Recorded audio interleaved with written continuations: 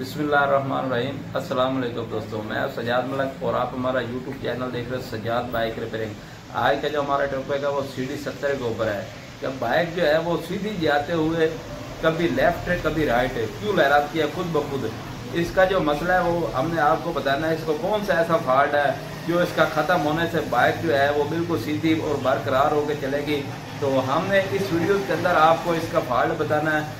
जो इसका हल करने से बाइक जो है वो सीधी स्ट्रेट पे चलेगी? वो कौन सा ऐसा फॉल्ट है जिसकी वजह से bike left, right left, right से लहराती थी? वो हम आपको बताएँगे इस वीडियो के अंदर। तो आपने इंशाल्लाह वीडियो के अंदर जुड़े रहना, आपने वीडियो को एंड तक देखना है। तो तो आइए हम आपको लेके चलते हैं बाइक की तरफ़ और हम आपको बताएँगे इसका पहले क्या क्या ओपन करना है। तो कौन सा ऐसा फॉल्ट है इसके अंदर? जो हम आपको बताएँगे जो हल करने से बाइक जो है वो बिल्कुल सीधी और बरकरार होकर चलेगी।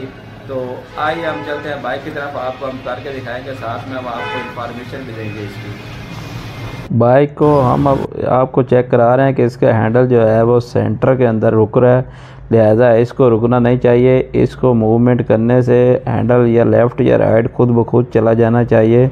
तो हैंडल ये फंस रहा है, इसका मतलब ये है कि इसका जो है गोलियाँ का वो लाजमी ओपन करनी पड़ेंगे। तो अगर हम इसको यहाँ पे एडजस्ट करेंगे, अगर थोड़ा सा लूज़ तो जो ये है जंप में आवाज़ करेगा, अगर ज़्यादा टाइट रहेगा तो फिर गाड़ी लेफ़्ट राइट लाजमी जाती रहेगी।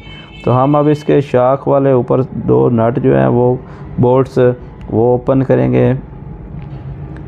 उसके बाद हम अब हैंडल वाला जो मेन सेंटर वाला एनक का नट है। हम इसको ओपन करेंगे।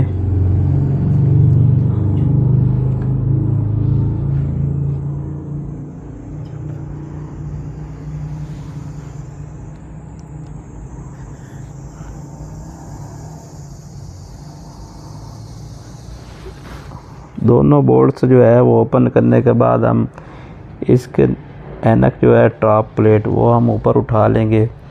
हैंडल के समेत ही।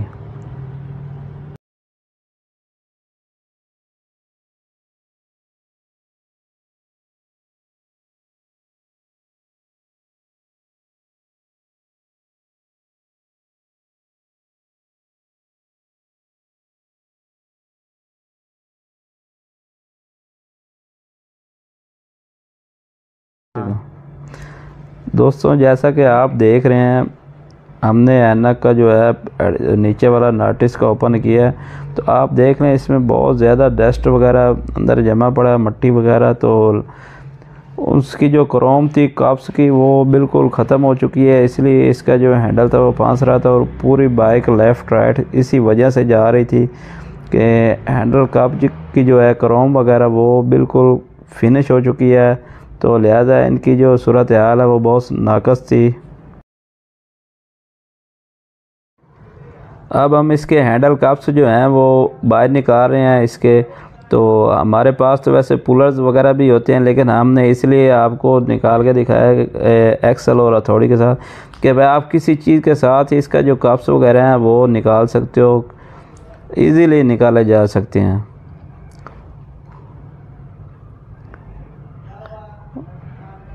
अब हम इसका जो एनक वाला कप्स है वो हम बाहर निकालेंगे।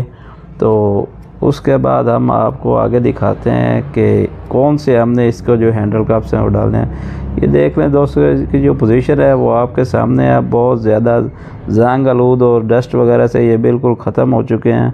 तो लिहाजा हम इसके अंदर अब न्यू हैंडल कप्स डालेंगे इंस्टॉल करेंगे।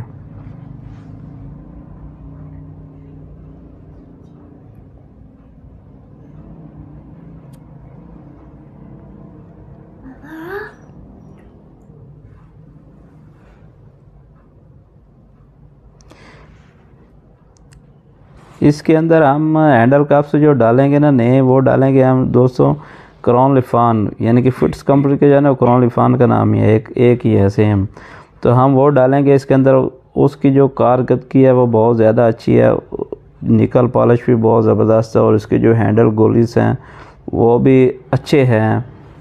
लोकल्स नहीं है, ये बहुत अच्छी कंपनी है, इसका पार्ट्स अच्छे है तो हम इनको इंस्टॉल करेंगे।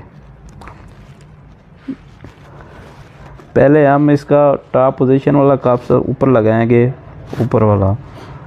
तो उसके बाद हम इसका नीचे वाला लगाएँगे, पहले फ्रेम के अंदर कप्स लगाएँगे। आप नीचे वाला या ऊपर वाला कोई भी लगा सकते हो इसके अंदर पहले। उसकी कोई किसी किस्म की टेंशन नहीं है, कोई फिटिंग में प्रॉब्लम नहीं आता इसके अंदर।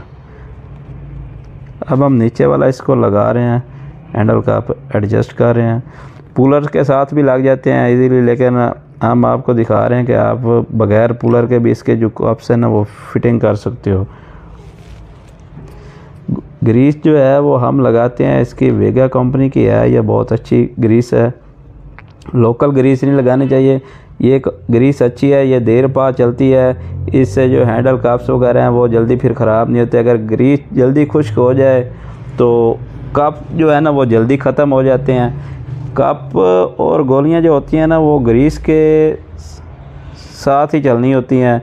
ग्रीस की वजह से अगर ग्रीस ज़्यादा अच्छी टाइम पर निकालेगी तो जो कप्स गोलियाँ हैं, वो ज़्यादा टाइम निकाल जाएँगे। अगर जल्दी ग्रीस ख़त्म हो जाए, खुश्क चलते रहें तो फिर वो जल्दी कप्स जो है, वो ख़त्म हो जाते हैं। ग्रीस ऊपर ज़्यादा लगाने चाहिए, कम ग्रीस नहीं लगाने चाहिए। जितनी ग्रीस होगी, ऊपर लगी, उतना अच्छा ये काम करेंगे।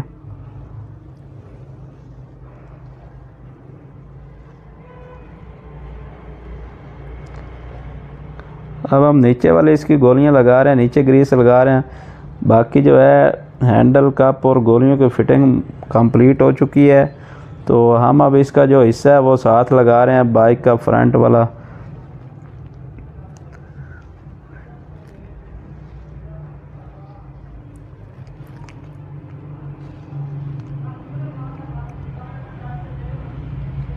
फ्रंट इसका कंप्लीट हो चुका है अब हम इस और एनक का जो मेन नट्स है वो लगाएँगे हम इसका पहले।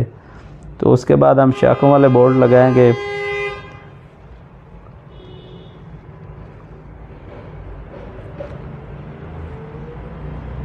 काम इसका दोस्तों कंप्लीट हो चुका है बाइक का